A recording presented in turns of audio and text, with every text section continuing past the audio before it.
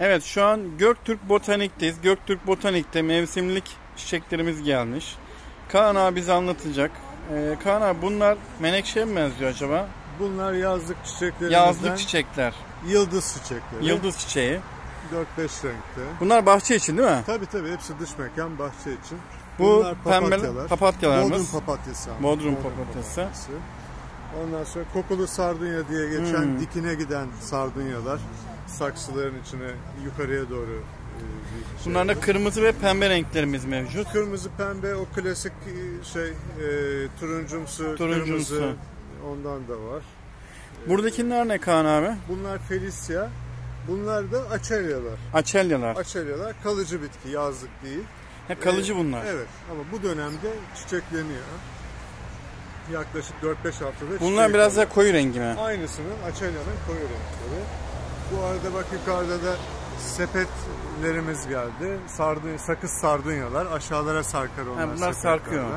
Değişik renkleri var. Onun da katmerlisi var bir de yalın katı var.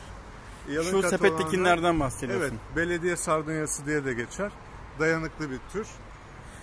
Bunlar nedir Kaan abi? Bunlar kameli, bunlar da margarit. Ee, yazın çok uzayarak büyük papatya çiçekleri. Hmm. Evet, Şu an fide boyutunda iniyor. yani. Evet şu an iniyor aşağı kışın. Sonra tekrar uzuyor. Bunlar ortancalar. Ee, istersen bu tarafa dön. Bu tarafa dönelim. Buradan sahne gösterebilirim. Bak o sakız sardunyanın yalın katları Ha, evet. böyle oluyor mesela.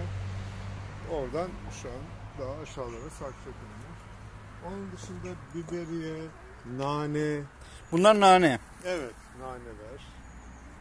Sebze bahçeleri için falan düşünürse. O arada fidelerimiz de geldi. Sebze fideleri, domates, biber gibi şeyler de geldi. Bak, ha kekik türleri. İşte değişik limoni kekik, normal kekik. Çok güzel kokuları. O sepetlerden gene petunyanın değişik renkleri saksılara dikilip aşağılara balkonlardan sarksın diye. Mine çiçeği.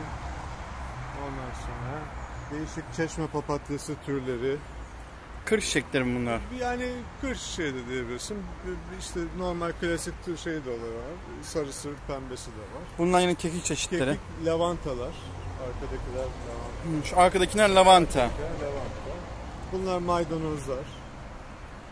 Saksılar. Aa burada tatlı biber diyor. Sivri tatlı biber. Evet. Bunlar ne kadar sürede yetişiyor? E, bunlar hazır fide. Yani 3-4 hafta içinde şeye gelir.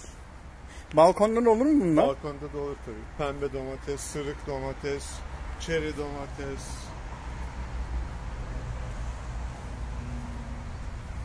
Bir fideden bir tane mi çıkıyor biber yoksa bir Yok, fideden yok, 4-5 tane mi bir çıkıyor? Yani bütün Beslenmeye yaz mi boyunca verir. Yani bir kilo mesela verebilir. Ama birazcık da bakımla ilgili. Bakımla ilgili.